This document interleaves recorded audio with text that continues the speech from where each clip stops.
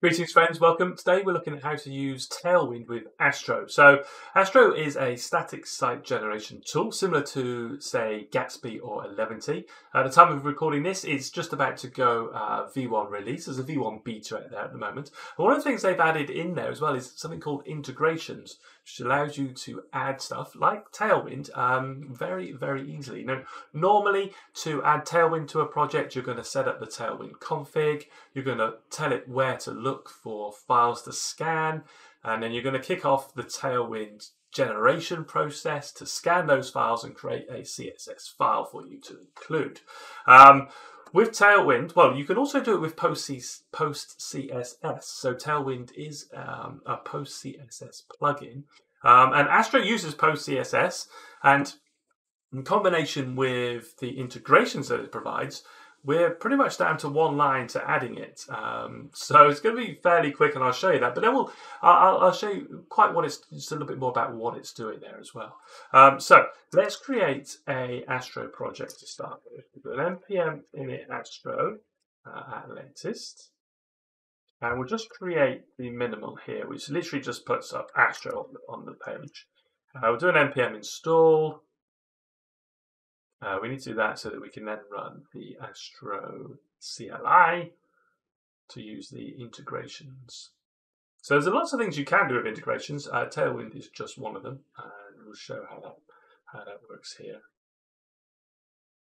Speed this up a bit slow.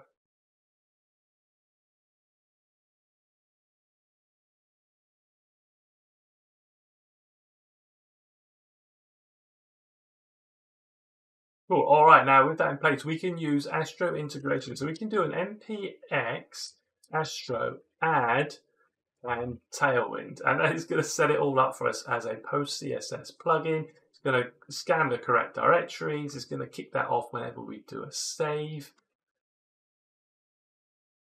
All right, so expect slightly smaller. Okay, so it's going to update our config file to add the integration. We can say yes, that's fine.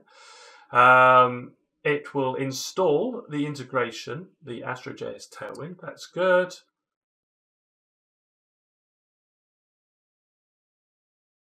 And then it will create it will create our Tailwind uh, config for us. So good again. All right, all good. Let's open up the code and see what we've got.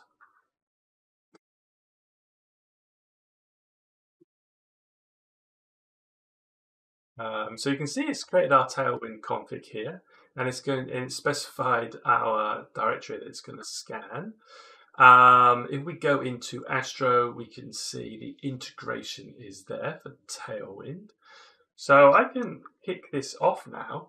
Uh, if I do, back in here, so it's speaking, if I could do a uh, run dev.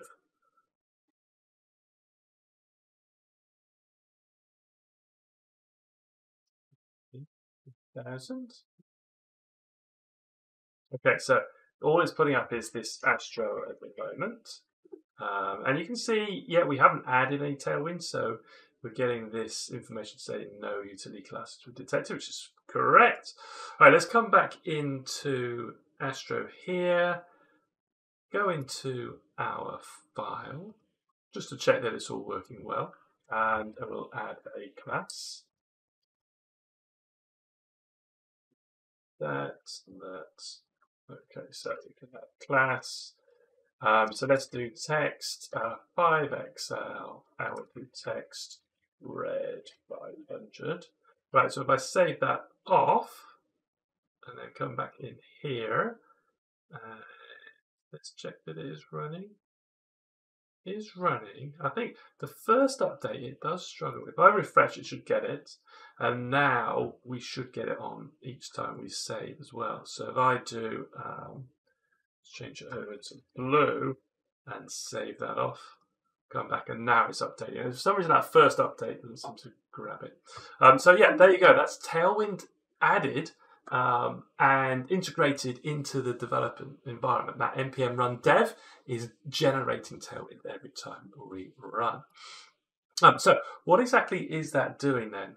Let's um, go on to GitHub and just have a quick look at that Astro.js project. If I come into uh, with Astro, and then go into it's a bit bigger again. Uh, we come into packages, come into integrations, and we've got Tailwind integration. So you can see the other integrations we've got here. Um, and we've also, so we've got Tailwind. Right, and if we now look at the sort of things it's doing, it's got a base CSS. So now you would normally create a base CSS when you're setting up Tailwind, and you would add in um, the the base, the utilities, and the components. So if we if we click on there, uh, we can see that's exactly what it's doing for us. It's going to add that file in for us. Uh, and then if I go into the source, look at index TS here, uh, if I scroll down, we'll suddenly start to see uh, it's doing a lot of the config, and then you see here that we're we're pushing our tailwind into um, post CSS. So what it's doing it's literally just setting it up as a post CSS plugin for us, um, that integration. Uh, so very straightforward and very quick, very um, pretty cool that from Astro. I uh, hope that was interesting. Give me a thumbs up if you liked it. Thumbs down if not. Thanks for watching. Catch you next time. Bye.